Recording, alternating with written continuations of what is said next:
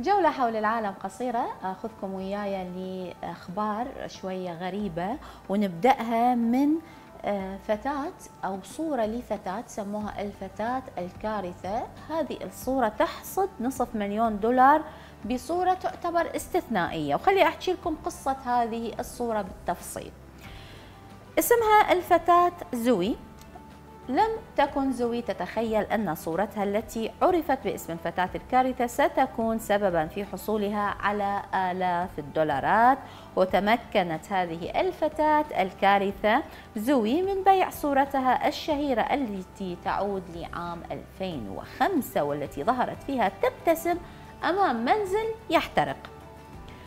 مقابل 473 آلاف دولار في مزاد بالعملات المشفرة. وتعود قصة الصورة لعام 2005 عندما نجت زوي الطفلة البالغة من العمر في هذاك الوقت اللي كان عمرها أربع سنوات من حريق اندلع في الحي الذي تقيم فيه.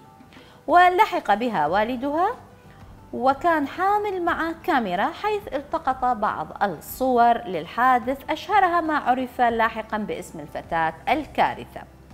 وبعد بيعها لهذه الصورة قالت زوي الطالبة الجامعية الآن في نورث كارولينا أنها ستتبرع بأموالها من ثمن الصورة لسداد قروض طلاب جامعيين وأعمال خيرية أخرى. وتحدثت أيضا زوي قائلة الأنترنت عالم كبير سواء كنت تمر بتجربة جيدة أو سيئة عليك فقط أن تحقق أقصى استفادة منها. طبعا حسب ما نقلت صحيفة ذا جارديان البريطانية فإن زوي ستحتفظ بحقوق النشر الخاصة بصورتها في المستقبل وستحصل على نسبة في كل مرة تباع فيها الصورة.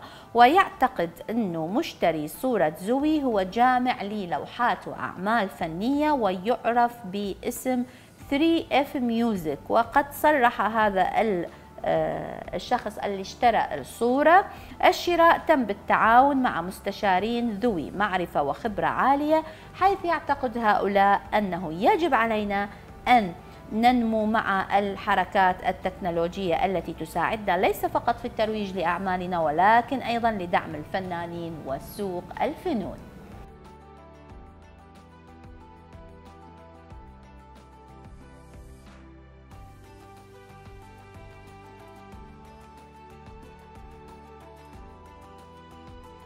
ونكمل الجولة حول العالم ونروح لخبر قبل أيام تحدثت أني عنه وهي عن أنه الرئيس آه، عبد الفتاح السيسي رئيس مصر كان يتجول في أحد الشوارع ويتفقد بعض المشاريع الإنشائية وبطريقة طبعا وبدون ما يكون وياه وفد وحراسة بحيث ما حدا يعرف أنه هذه السيارة هي سيارة آه، اللي داخلها هو الرئيس المصري. شاف شخص سايق ديليفري ووقف وحكى وياه. اليوم هذا سائق الدليفري بعد يومين تقريبا على اللقاء المصادفة مع الرئيس عبد الفتاح السيسي تلقى هدية من الرئيس بعث اياه وكشف عامل التوصيل اللي قابل الرئيس المصري عبد الفتاح السيسي مصادفة أثناء قيادته دراجة نارية تفاصيل الحديث الذي دار بينه وبين الرئيس. وبحسب عامل التوصيل إسلام عمر فإنه لم يكن يتوقع أن يقابل الرئيس المصري عبد الفتاح السيسي مشيرا إلى أنه ما حدث معه مفاجأة سارة للغاية ليش؟ لأنه قال إسلام أنه الرئيس أعطاه في وقته أثناء المقابلة ظرف فيه 500 جنيه وفعل ذات الشيء مع زوجته لافتا أنه كان ذاهبا لتوصيل زوجته لتناول الإفطار عند شقيقتها. ولم يكن معه سوى 35 جنيه وتبقى منها 20 جنيه فقط بعد ما صب كمية من البنزين بالدراجة النارية. وكان الرئيس السيسي يتفقد الأعمال الإنشائية لتطوير عدد من الطرق والمحاور وبعض المناطق في شرق القاهرة. اليوم بعد مرور يومين الرئيس عبد الفتاح السيسي آه، عرف اسم هذا الشخص. طبعا وعرف هو وين يشتغل فدز له هدية عبارة عن تاكسي. تعمل بالغاز هدية حتى يقدر يعيل عائلته هو وأخوه ويكون حياته أسهل ويكون شغله أفضل مما يكون على البايسكل.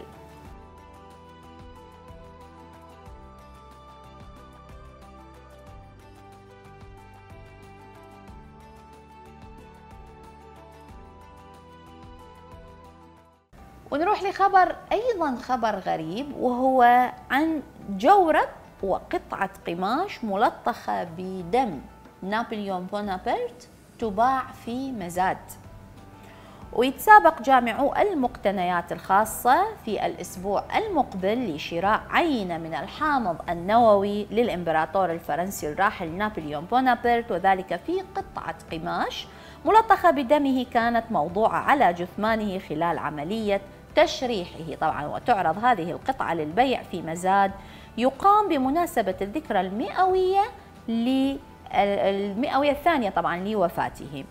توفي نابليون بونابرت في الخامس من مايو عام 1821 عن عمر 51 عام في جزيرة سانت هيلانا جنوب المحيط الأطلسي في وقتها نفاه البريطانيون بعد هزيمته عام 1815 في معركة واترلو. تعرض أيضا طبعا دار دار أوزينا للمزادات نحو 360 قطعة للبيع في الخامس من مايو مع قطع رئيسية أخرى بما فيها خصلة من شعر نابليون وزوج جوارب حرير. كانت تخص نابليون وقميص طويل الأكمام طرز عليه حرف ان بخيوط حمراء ويقدر لقطعة القماش الملطخة بالدم أن تباع بمبلغ يصل إلى 15 ألف يورو يعني 18 ألف دولار.